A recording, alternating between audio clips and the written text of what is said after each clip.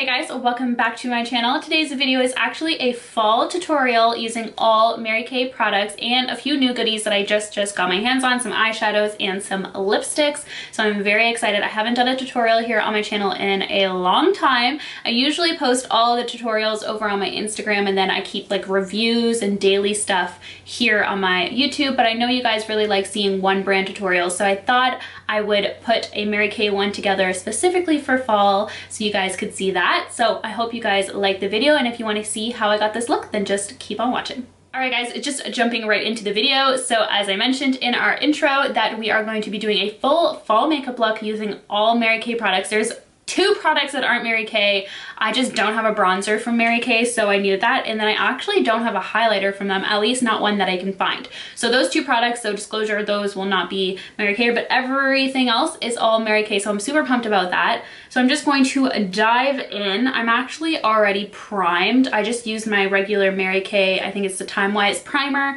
on my skin, and I'm going to jump in with one of my favorite foundations from them. This is the Matte 3D foundation. I absolutely am obsessed with it. I do have a full review, so I won't go into too, too much detail on it. So I've recently been really enjoying applying my foundations, like kind of like dotting it on my skin and then just working it in with a brush. Um, I don't know why, but that's just the way I've been liking it. so I usually just dot it all over and then kind of start going in with my brush. And then whatever's left on my hand, I kind of just pick up with my brush and then just start working it in. For anybody wondering, I am in the shade Beige W180. I love this shade match with my complexion. I think it works like perfectly. Um, in the summer months, I remember when I first reviewed it, it was a smidgen too light, but now I'm losing my tan as we get into the fall months. So this is definitely more of my natural kind of no tan skin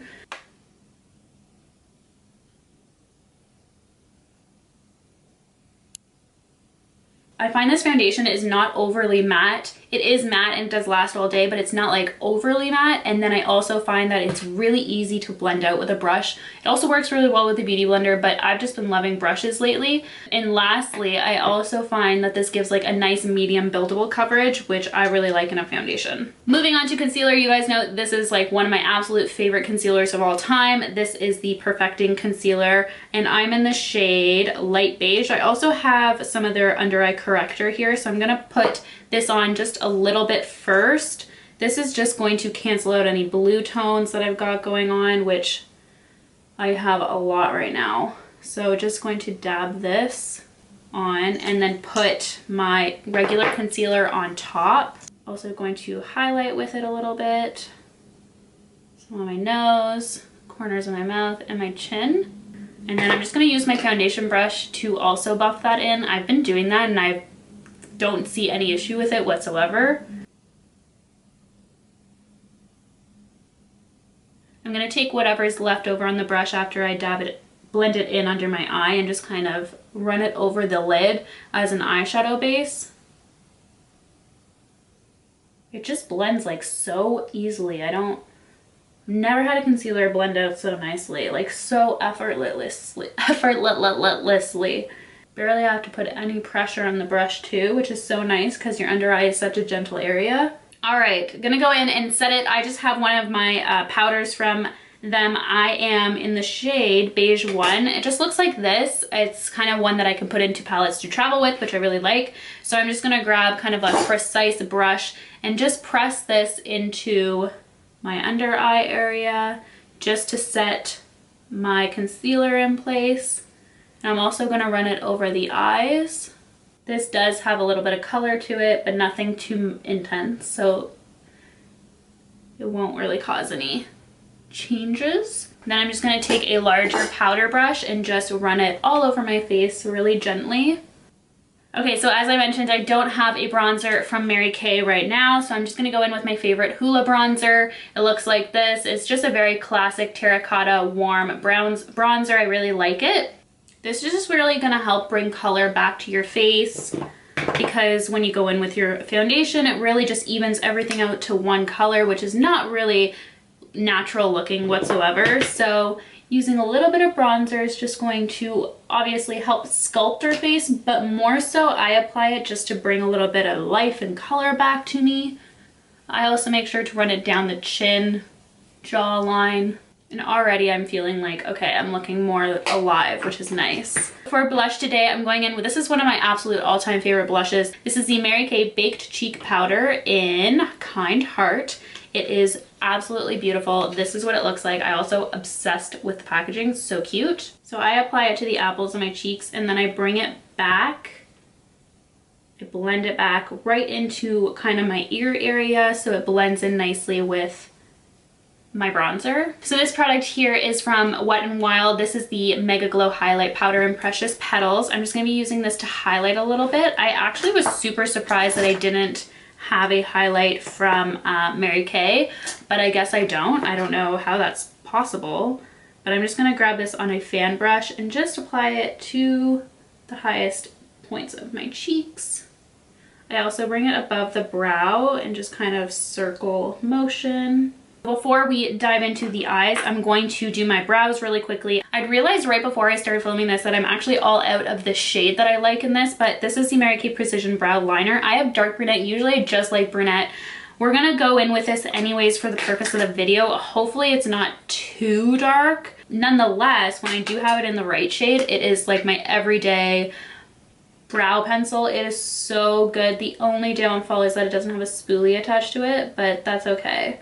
I forgive it for that one downfall because it's so good. Yeah, this is a little dark, but it's okay. We'll just have really intense brows today.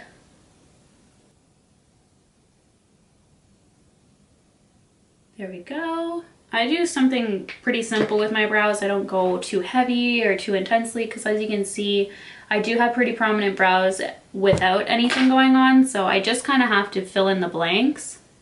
Just I'm very, very blessed.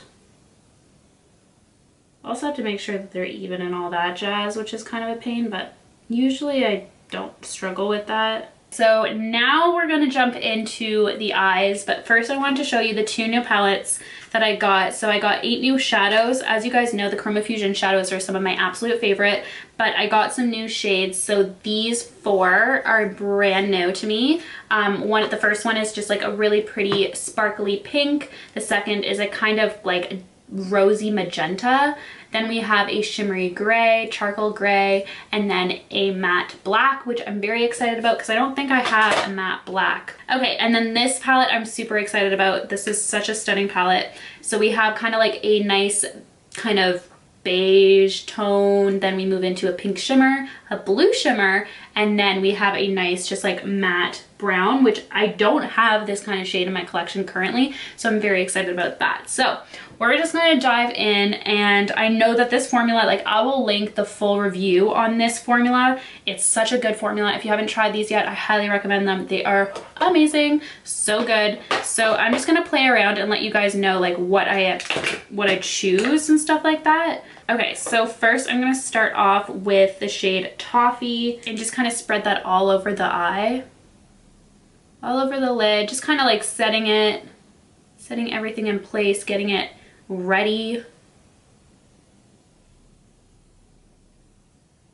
Okay, moving on, I'm going to go jump in. I'm actually going to start with a shade Cinnabar. This is one of my favorite shades. See how pigmented it is, but it like blends out so easily. Okay, I'm then going to take the shade Golden Peach which looks like this. It's so, so pretty. And apply that all over the lid. Oh my god, I'm super excited for this color because it's really pretty. Okay, so really, really love that shade. So pretty. I'm going to move on to kind of deepening up this look a little bit with the new Mahogany shade. Very stunning shade. I'm feeling this one's going to be super pigmented. So I'm just going to start packing that onto the outer V just start deepening up this look a little bit.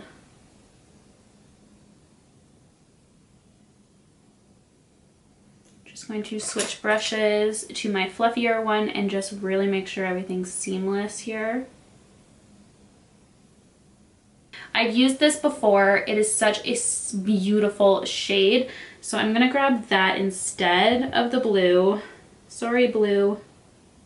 I'm gonna go in with the emerald and I'm going to start packing it on my lower lashes. Yes, this is pretty. I'm gonna jump off camera, pop on some lashes, and then be back to show you kind of how I'm gonna tie it all together. It still needs a little bit of blending, so I'm gonna do that too. Okay, so I just finished popping on my lashes. I'm really liking the way that the look is coming together, so I'm gonna finish it off with some lipstick. I got two new ones from Mary Kay. Um, I have the Tenacious Taupe, and then I have Spice of Life. I really like Spice of Life here. I'll actually swatch both of them for you guys. So, so this is Tenacious Taupe, and then this is I already forget. Spice of Life. I'm gonna mix both of them actually, so I'm gonna start with a little bit of Spice of Life all over.